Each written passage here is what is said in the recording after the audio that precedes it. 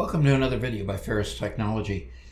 One thing about creating your own database is that when you get into the database, you wonder, well, where do I start? Well, a good place to start is the templates that are already pre-made in Access that are available once you open the application.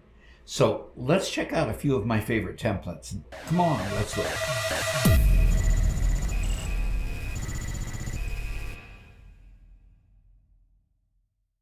So as I open up Microsoft Access here, what you see, of course, here is blank database. Well, yeah, I could start with a blank database and I could fuss with going ahead and creating tables and queries and building my own content. But wait a minute, there's a more templates button here. So let's take a quick look at the possibilities that exist in pre-made templates, simple, similar to the Excel templates or Word templates that you see in either one of those two applications. Only these are full featured, fully written databases that you can start putting in data right from opening them up. So let's look at a few of my favorites. Now, as I scroll down here, one that I know caught my eye right here is I'm an instructor. This is for students.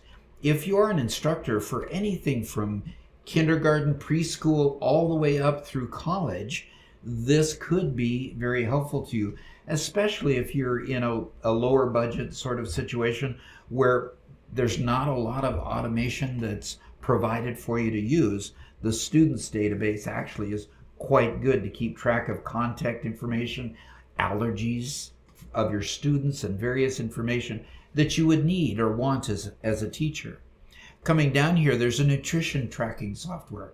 If you want a software to track what you're eating, how much you're eating, and what your weight is, and what successes you have having in your diet or just your nutrition program, it's a great database to use there.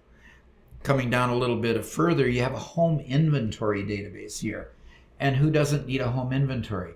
I mean, anybody that's ever been through a catastrophic loss where they've lost a significant part of their home or belongings has to prove to the insurance company that you had these assets.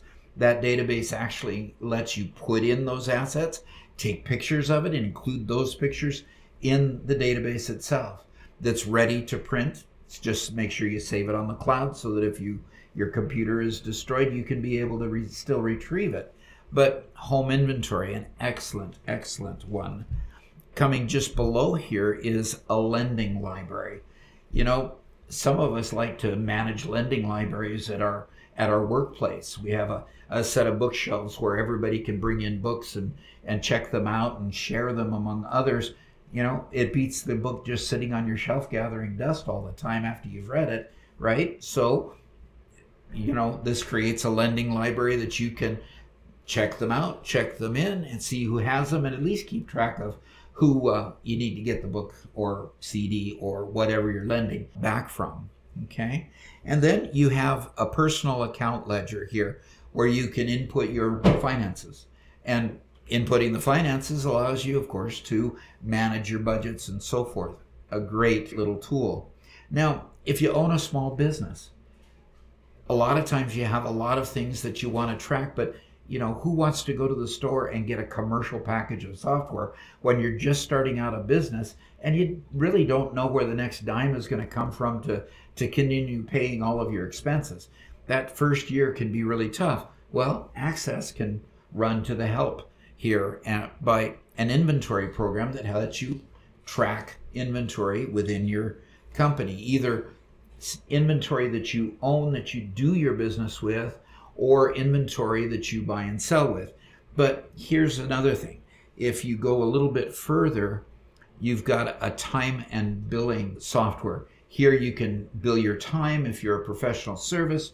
You can also bill products and bill and create the invoices for all of your customers, either repeat billings or other type of, of billings. When, if you have vehicles that regularly run in your small business, that, that you own and need to keep maintenance records for, there's a vehicle maintenance database all ready and built for you.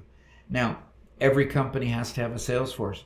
If you don't sell product, or either it being yourself and your hours or physical product, you can't get very far. Well, there's a database in here for a sales pipeline.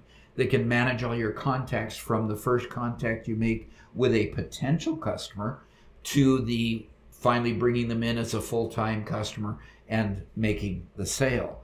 All of these here are pre-packaged and ready. All you have to do is click them and open up the template. You give it the name that you want to, you save it wherever you want to save it, and it's available for you uh, to use and to continue working with until you outgrow it and can actually afford a commercial package of software. So I hope this has helped you. Thanks for watching. If you like what you saw, please hit the like button, and I hope to see you on the channel again sometime. Thanks.